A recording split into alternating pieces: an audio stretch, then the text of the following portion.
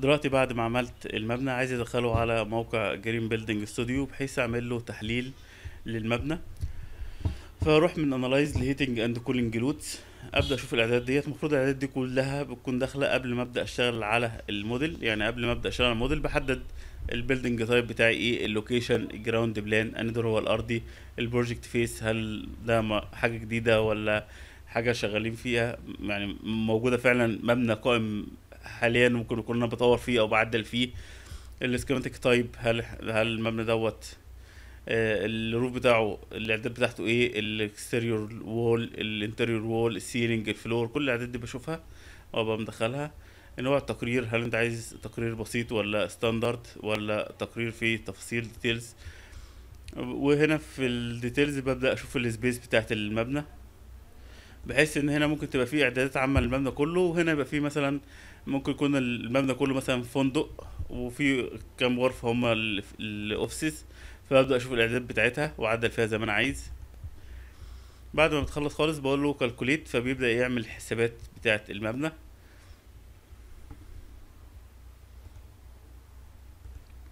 بلاقي التقرير ظهر لي فيه معلومات خاصة بال project. وبعد كده ملخص لل building. وبعد كده آه، الزونات وبعد كده ال space تقرير شامل وافي في كل حاجة. طيب بعد كده بقول له أنا هنا عايز أعمل export للملف ده للإعدادات بتاعة المبنى دوت جي بي إكس إم إل. فبقول له اكسبورت جي بي إكس إم إل. بيقول عايز تستخدم المعلومات بتاعة ال energy setting ولا المعلومات بتاعة أحجام ال space وال room؟ فبقول له لا إعدادات ال energy setting. فبيقول لي save المشروع دوت ب any اسم. فبقول له save ه بالاسم دوت.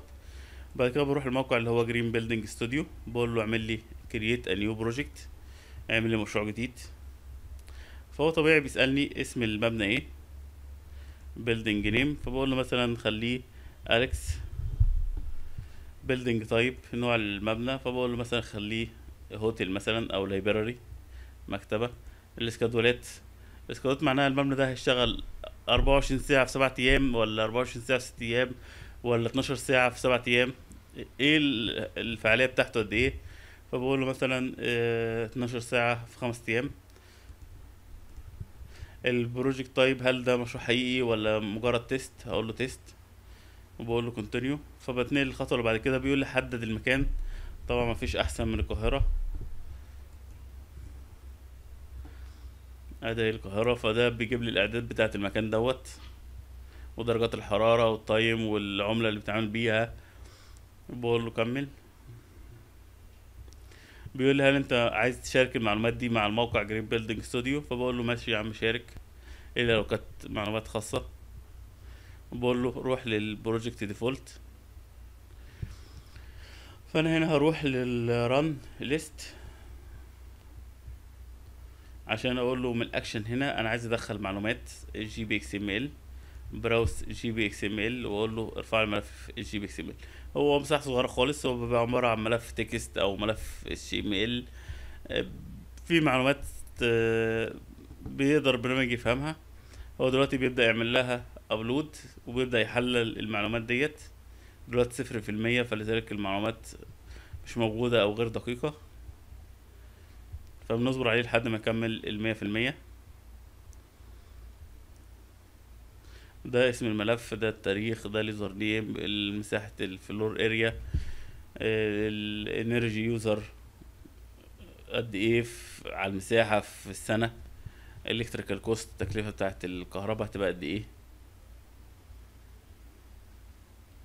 ال fuel cost electrical fuel energy فهو دلوقتي عمال يرفع الملف وكل ما بيرفع الملف بيبدأ ياخد معلومات أدق.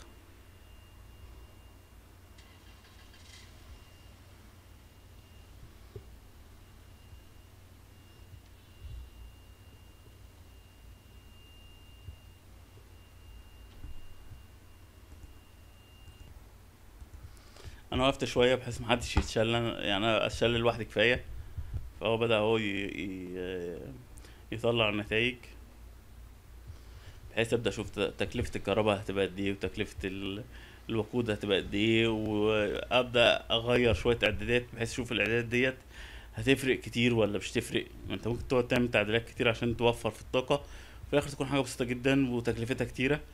فأنت بتع- بتعمل تغير الران شارت. هنشوف دلوقتي. فأنا بشوف إيه العامل اللي ممكن أعدل فيه يغير لي كتير في التوفير بتاع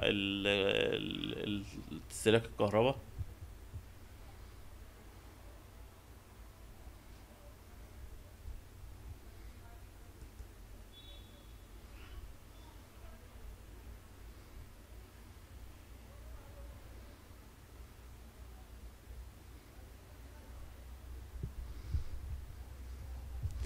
بيبدأ يجيب لي ال run chart للتكلفة total energy ال electrical هتبقى قد إيه؟ التكلفة هتبقى قد إيه؟ ال fuel.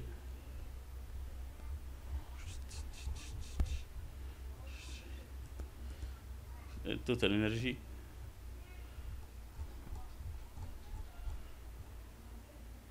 ال light بيكلف الكمية دي يظهر ال light فعلا بيكلف أكتر حاجة.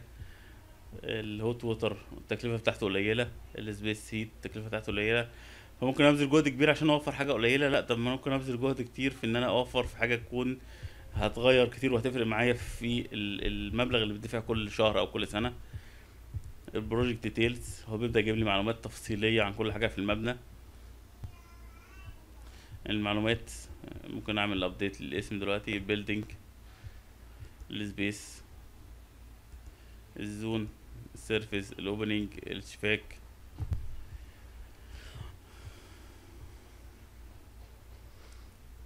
دي معلومات عن المبنى ال schedule ال project type العنوان الدولة. مين اللي شغالين معايا في المشروع؟ project members هو لغاية دلوقتي أنا بس ممكن تبدأ تضيف ناس تانية وتحدد هل هو مثلا ليه هو manage يقدر يعدل ولا مجرد بس آه، يقرأ read only بحيث إن هو ما يقدرش يعدل. يكون واحد مثلا صلاحيته قليلة. أكتب مثلا إيميل بتاع أي حد.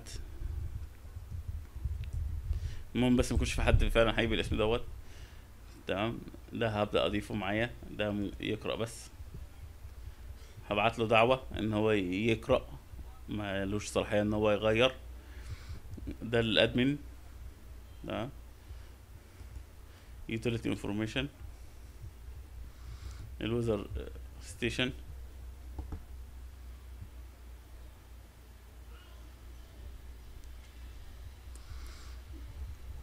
بيجيب لي تفصيل للحاجات. ال window هتبقى إزاي؟ ممكن تعمل download لل weather data.